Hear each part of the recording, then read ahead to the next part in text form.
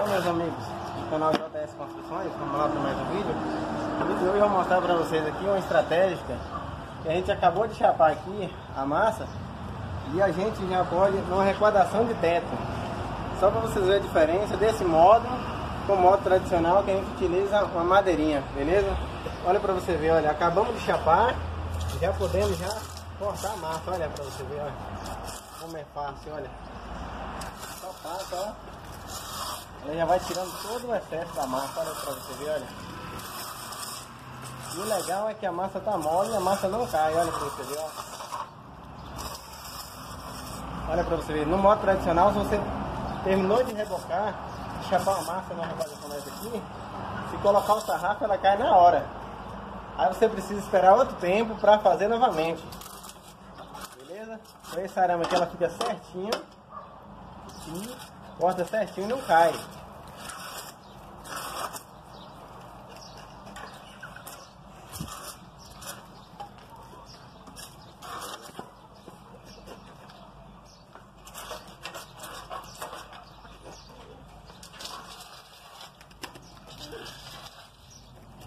Olha pra vocês verem como fica legal.